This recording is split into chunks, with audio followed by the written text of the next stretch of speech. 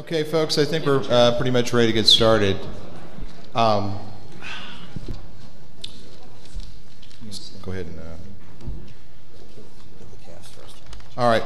First off, I want to. Uh, uh, we didn't do a hacker court last year, uh, but we did it uh, the year before and a couple years before that as well. So we're um, kind of an evolving cast of characters here. I want to kind of run through everyone. Uh, and as I refer to you, wave your hand at the crowd or something so they know who you are. Uh, our judge tonight is uh, Richard Salgado. He's a. Uh, He's a, a, a, a former uh, a former uh, DOJ employee, and uh, can I mention your current employer? Okay, he cur- currently works at Yahoo as their legal counsel. Discovered that you can go into the private sector and make 30, 40 times what you uh, used to make a. um, our uh, court clerk is uh, Caitlin Klein. who holds the record as being the youngest uh, speaker ever at a black hat several years ago. She was in here at uh, eight years old. So, uh, a distinct thing there. Uh, playing our Samantha Jones, who's going to be a CISO of a, a company that'll become clear, is Carol Fennelly, who's back there. And this is more or less Carol's baby, okay? She's the one that's kind of come up with this whole thing, and it's Illegitimate baby, yes, but uh, nonetheless a, a baby uh, for for her. Uh, uh next, we have uh, uh, Kevin Bankston over here. He's a staff attorney, Electronic Frontier Foundation. Ironically, our uh, illustrious uh, EFF representative is going to be a prosecutor uh, this time, which should be should be kind of fun. next to him is our defense attorney, Paul Ohm. And what's fun about Paul is he's being a defense attorney when he actually used to be DOJ and prosecute some of the scum that he'll be defending. So that's uh, kind of nice. Uh, back for a return appearance as a defendant uh, is uh, uh, Mr. Uh, Brian Martin.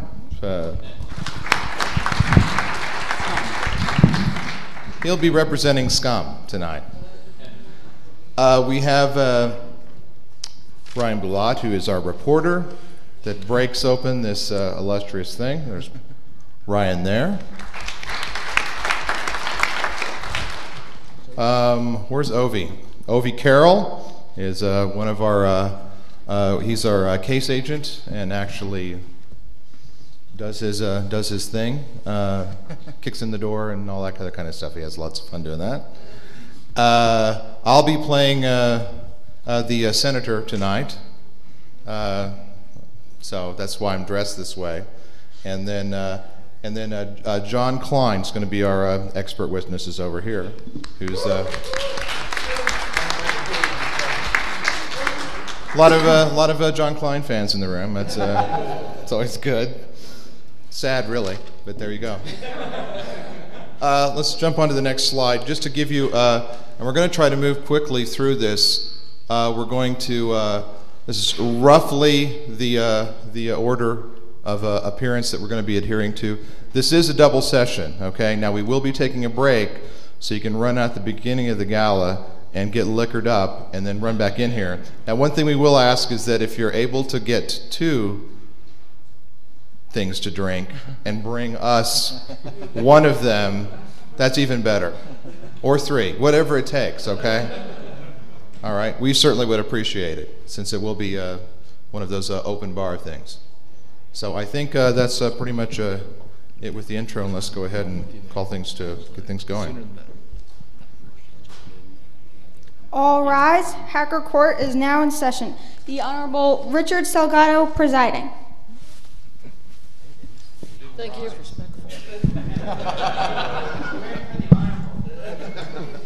You may be seated. Uh, good afternoon, Council. Uh, I see that the jury has been impaneled uh, and is now sitting. Uh, before we begin more formally, let me just say that I want to thank the jury for taking the time to participate uh, in one of the most fundamental uh, ways that you can as a citizen to help support a rule of law in a society like ours. Uh, we have a long and illustrious history in this country of jury service, uh, and I want to express my gratitude to you for sitting here today. Uh, let me first explain how the trial is going to proceed generally. The, this is a criminal case. Uh, the United States government has brought charges against a defendant, and you're going to be hearing the case about those charges. The government, or I'll refer to them as prosecution at times, uh, is represented by a United States uh, Assistant United States Attorney Kevin Bankston. He's representing the government in bringing the charges, and he will bear the burden of proof on the claims made against the defendant. The defendant here, Mr. Brian Martin, is being represented by an attorney, uh, Paul Ohm. And Mr. Ohm will be speaking on behalf of Mr. Martin, and should he choose to, will be providing a defense for his counsel, for his uh, uh, client. The indictment here charges that the defendant illegally intercepted electronic communications, otherwise known as wiretapping, and then using those communications and disclosing the communications to others, all in violation of United States federal law. The indictment is simply a document that lists the charges. It's nothing else. It's not evidence. It doesn't prove or disprove anything. It's just a listing of the charges. The defendant has pleaded not guilty to the charges listed in the indictment, and he is presumed to be innocent unless he's proven otherwise. And in fact, the jury, all 12 of you, must unanimously find that the government has proved his guilt beyond reasonable doubt before you can convict the defendant of any of the charges. The first step in this trial will be opening statements. Uh, the government opening statement will tell you about the evidence which it pretends, which it will uh, intend to put before you. And as I mentioned before, the indictment is not evidence. Well, the opening statements of the prosecutor is not also uh, any way probative of what actually happened. They are purely descriptions of what's likely to be proved at trial or what the uh, prosecution intends to prove at trial, and nothing more than that. The defense counsel, after the uh, opening statement of the prosecution, will likewise have an obligation, or excuse me, an opportunity, but no obligation to present his opening statement. And again, just like the indictment and the prosecutor's opening statement, it's not evidence of anything. Uh, the evidence will come next after the opening statements, and those, uh, the evidence will be presented to you in a couple different forms. You will be hearing from witnesses through testimony. You'll be seeing documents, uh, and there may be other types of evidence that are brought to your attention. The attorneys will bring them in, and as they come in, you will be allowed to see it, and you will hear likely testimony about uh, the document exhibits. Once the government has presented its case, the defense will have an opportunity to present its evidence. The defense has no obligation to present any evidence, uh, but may choose to do so if it wishes. After you've heard the evidence on both sides, the government and the defense will each be given time to present final arguments, closing arguments. Once those are given, I will be uh, providing you with guidance, jury instructions as it's called, on how to uh, evaluate the facts and come to a conclusion. You will be bound to follow those instructions, although the duty of actually finding the facts is exclusively within your domain. Now, with that introduction of what the proceeding will look like, we'll now begin with opening statements. Mr. Bankston, would you like to proceed? Yes, thank you, Your Honor.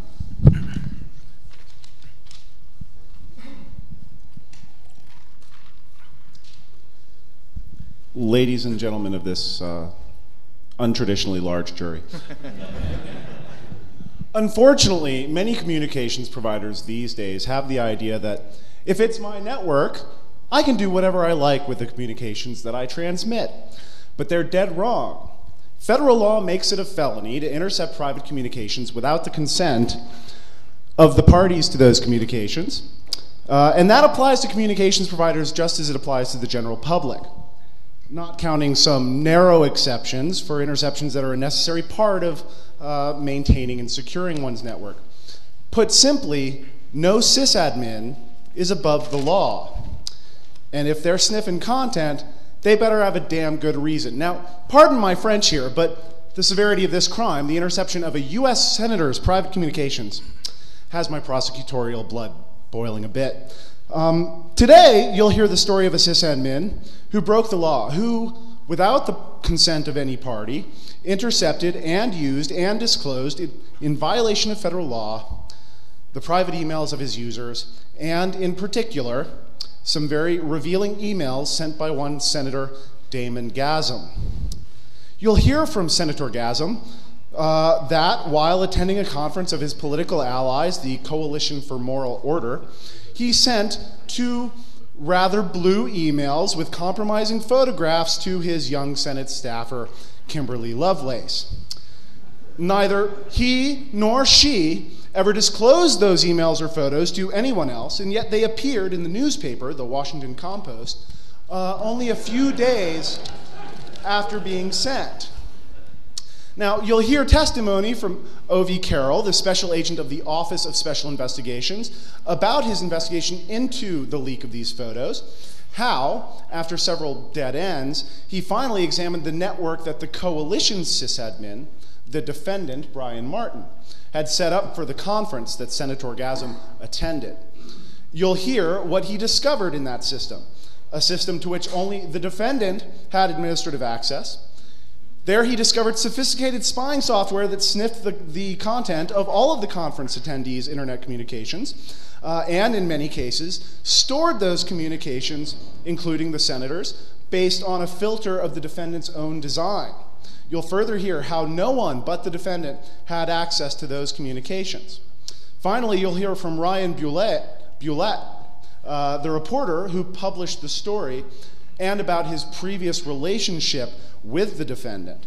Again, the only person uh, known to have access to Senator Gasm's emails and pictures, uh, other than the lovely Miss Lovelace.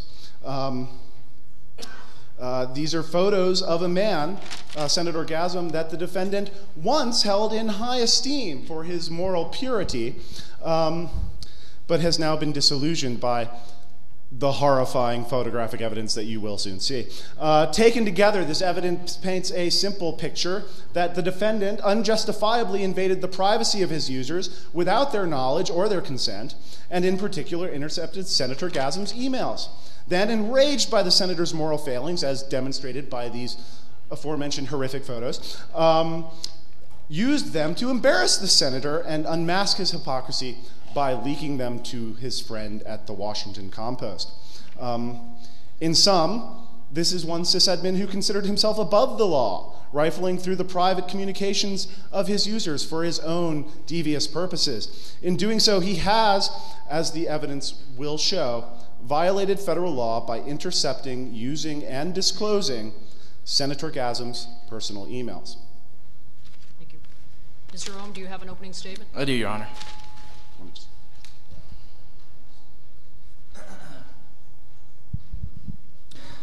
Good afternoon, ladies and gentlemen. As you probably have already gathered from that recitation, this is not your ordinary case.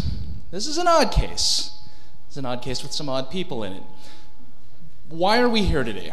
We are here today because an admittedly very powerful man, Senator Gasm, did something that was very embarrassing. Did something that brought, perhaps you could even say, some shame upon him, some notoriety. I'm sure many of you in the jury have heard about these facts before today. This is a powerful man who, deeply embarrassed, helped move the lumbering, slow machinery of the United States government to find a scapegoat, and a scapegoat they found. And that person